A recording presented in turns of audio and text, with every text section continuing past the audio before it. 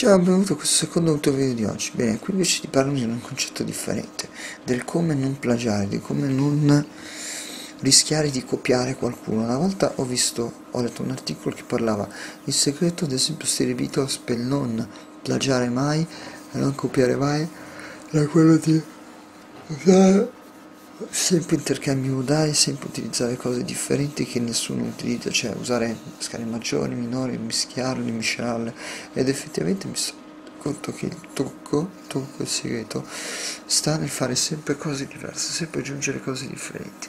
Sto pensando allo stile tipo di Purple, Judas Priest, Black Sabbath, di Purple per fare un esempio. È una musica talmente particolare quella che fa di Purple che difficilmente io posso dire ricordano questi, quest'altri, perché negli insieme effettivamente di Purple suonano di Purple.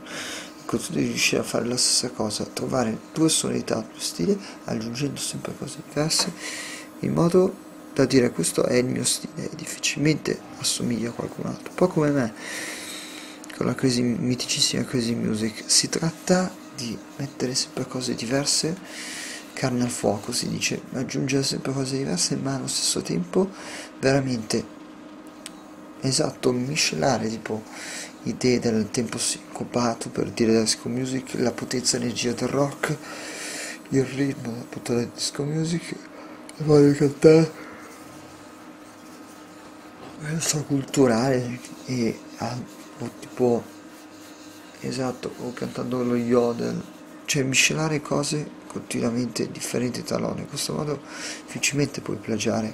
Mi ha colpito sempre l'idea che diceva Yanghilla. Yanghilla diceva effettivamente noi avevamo 20 influenze diverse in questo modo il nostro genere è unico perché uniamo 20, 20 tipi di influenze. Invece le band di oggi molte cosa fanno? Hanno solo un'influenza tipo Black Sabbath di Purple e quindi suonano la Black Sabbath di Purple. Invece una volta avevano 50 tipi di influenze diverse. Questa frase mi ha fatto riflettere della crazy music è un mix di 5 miliardi di, di suoni, di idee, di stili differenti. Quindi veramente l'idea è per non plagiare abbi più idee possibile e poi della più gente possibile e, e mischia al massimo nel tuo stile. Ciao, prossimo video!